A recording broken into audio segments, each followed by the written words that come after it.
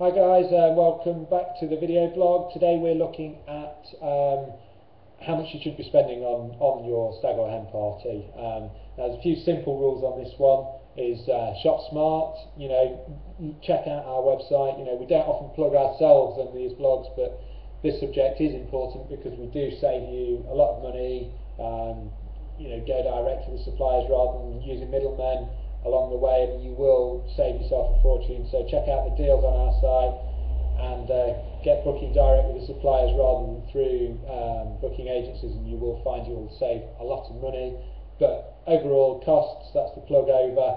Um, the rules are just because you can afford it doesn't mean everyone else can. So um, you know you you will have sort of probably a more flexible budget. You're the organizer, you want to make it right, but you've got to make sure everyone um, is in the ballpark of being able to afford what you're looking at. Um, secondly, you know, don't go too cheap on the other end of the spectrum. Um, common sense, but stag or hen is a big deal. You know, um, don't make it too naff, or else no one will enjoy it. So you know, don't compromise too much and be prepared that it may go out of reach for a couple of people within the party, but you've got to accept that to get often what, what you want. Um, and the other thing to consider is sort of expectation from your party. Um, I've mentioned this before, but if every other hen party that the girls have been on um, has cost 75 quid and you're going to them with something that's 500 quid in Vegas, then you're not going to get many takers. So,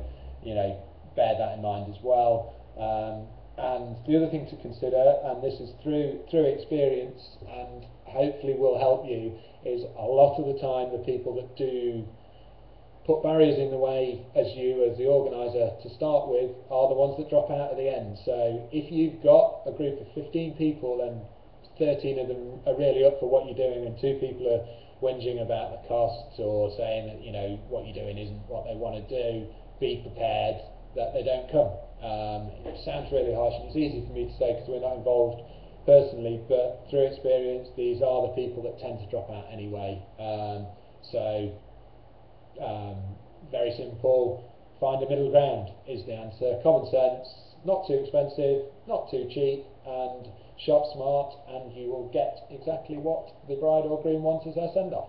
Cheers, guys.